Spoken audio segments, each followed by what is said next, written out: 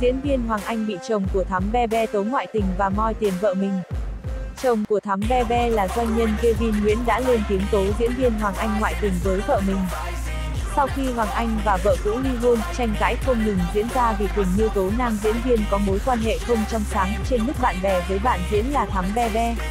Tuy nhiên, ở thời điểm đó, Hoàng Anh và Thắm Be Be đều một mực phủ nhận và nói như đinh đóng cột rằng cả hai chỉ là bạn tốt.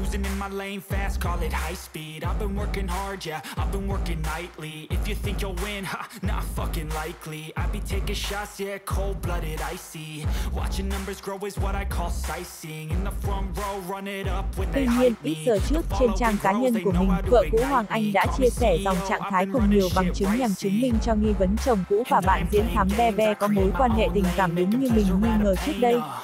Cô chia sẻ lại đoạn story mà chồng của Thắm Be Be là doanh nhân Kevin Nguyễn bày tỏ sự tổn thương và tuyệt vọng vì vợ ngoại tình. Tiếp đó, dưới phần bình luận của Quỳnh Như, Kevin Nguyễn cũng bày tỏ tôi và em là vợ chồng bao năm qua có mấy đứa con. Em chưa bao giờ đặt thương vị của tôi để suy nghĩ xem tôi vất vả đi làm cực khổ nuôi em và các con. Còn em trước giờ không đi làm ở nhà chăm sóc gia đình và giờ thì đi quay phim YouTube suốt ngày với tình nhân. Tôi đã gặp tình nhân của em và đối mặt với em tất cả đều được chính miệng tình nhân của em nhận rõ.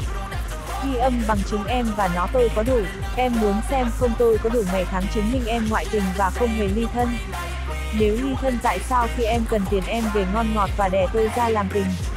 Để tôi đưa em tiền, tôi sẽ bóc tất cả lớp mặt nạ của em và Hoang Anh. Bằng chứng tôi đủ hết để khẳng định 100% con người em suốt hơn một năm qua em cắm trên đầu tôi bao nhiêu sừng. Liên hệ với chồng của diễn viên Thắm Be Be là doanh nhân Kevin Nguyễn để làm rõ vấn đề. Anh bức xúc cho biết tôi và cô ấy làm vợ chồng đã lâu. Tôi yêu thương và chăm sóc cô ấy hết lòng. Cô ấy muốn gì có đó nhưng cô ấy đâm tôi một nhát quá đau. Tôi đã nghi ngờ mối quan hệ giữa vợ và Hoàng Anh từ lâu. Thậm chí tôi có mời cả hai ngồi nói chuyện. Tôi bảo nếu cả hai say nắng hay yêu nhau thật lòng cứ nói với tôi, tôi sẽ ly hôn và cho cả hai một số tiền làm ăn. Lúc đó cả hai cam đoan với tôi là không có gì với nhau. Hoàng Anh còn nói là cậu ấy không bao giờ có thể đến được với Thắng Be Be mà có hạnh phúc. Tôi đã tin Hoàng Anh, hơn nữa tôi muốn cho vợ mình một cơ hội, tôi không muốn các con tôi không có mẹ, tôi muốn các con có một gia đình đúng nghĩa, tôi nhường nhịn thậm chí năn nỉ cô ấy để cô ấy suy nghĩ lại. Bố mẹ ly hôn thì người tổn thương nhất là các con. Nói về chuyện vợ mình ngoại tình với Hoàng Anh, Kevin Nguyễn chữ lòng, tôi từng xem Hoàng Anh là bạn là người em. Khi Hoàng Anh ly hôn vợ tôi còn nói với thám Be Be là mình rút gì được cứ rút thì tội quá. Tôi đâu có ngờ cả hai làm tôi đau đến vậy. Thắm Be Be bảo muốn mở spa làm ăn, tôi cũng cho tiền mở spa. Khốn nạn nhất là Thắm Be Be biến spa làm phòng tân hôn của cô ấy với Hoàng Anh. Cô ấy đi với Hoàng Anh ngày đêm không chăm sóc con cái kể cả khi chúng bị ốm. Đến khi cần tiền làm phim thì về ngọt ngào với tôi. Tôi thương vợ nên cho tiền vợ làm những gì cô ấy thích. Có ngờ đâu cô ấy đem tiền đó nuôi Hoàng Anh. Mấy tháng nay tôi khóa tài khoản không cung cấp tiền thì cô ấy lại đi lại với một anh Mỹ trắng và lấy tiền của anh Tây này để nuôi Hoàng Anh. Tôi đang tiến hành ly hôn với Thám Be Be. Tôi muốn nói câu chuyện này để bóc trần sự khốn nạn của diễn viên Hoàng Anh. Một người nghệ sĩ không có đạo đức, Kevin Nguyễn cung cấp tin nhắn mà anh chụp lại được từ điện thoại của Thám Be Be khi cô nhắn tin với Hoàng Anh. Cả hai xưng hô với nhau như vợ chồng, thậm chí, nam doanh nhân còn cho biết có khá nhiều đoạn ghi âm để lột mặt nạ của Hoàng Anh. I ain't gonna take that, stay back. I'll be swinging hard till the hits come in all caps. I ain't gonna lay back, pray that someone's gonna help me. Ain't nobody like that.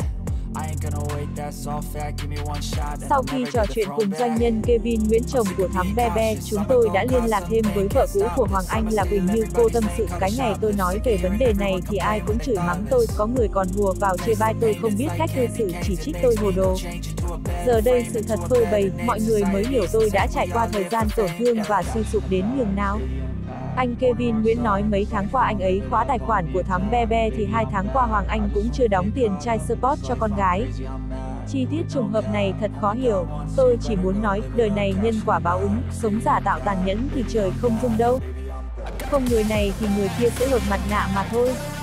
Tôi không hà dạ gì khi đọc tin này, tôi chia sẻ vì tôi thấy mình bị oan và bị mang tiếng vu khống cho Hoàng Anh nên tôi phải lấy lại trong sạch cho mình. Về phía thám Be Be cô cũng chia sẻ dòng trạng thái đầy ẩn ý lên trang cá nhân rằng, trên đời này kinh tởm nhất là loại người rõ ràng làm tổn thương người khác rồi giả vờ mình là người bị hại.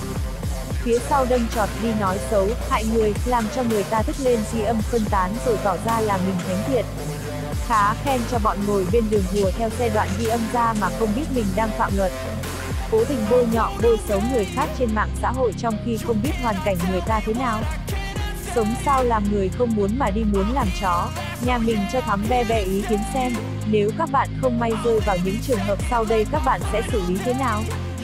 Nếu có người dắp tâm phá thử công việc thương hại đến thanh danh, nhân phẩm của bạn thì bạn làm gì? Nếu người đó là chồng hoặc vợ bạn khi đang trong giai đoạn ly thân, người ta tẩu tán hết tiền trong tài khoản thì bạn nên làm gì? Nếu người đó là chồng hoặc vợ bạn mà đàn áp sex bạn mỗi ngày dòng dã suốt 10 năm thì bạn nên làm gì?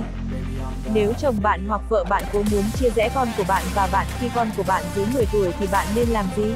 Nếu chồng bạn hoặc vợ bạn phá tan nát kênh YouTube của bạn khi bạn đã cố tạo dựng gần 2 năm trời. Với tất cả tâm huyết thì bạn nên làm gì? Trời mưa, lạnh lắm càng về cuối năm thời tiết càng lạnh. Ai cũng cần một mái ấm, một nơi để đi về. Thậm chí, nữ diễn viên này còn hẹn livestream để làm rõ vấn đề. Còn Hoàng Anh, anh vẫn thích im lặng dù đã liên lạc để làm rõ vấn đề.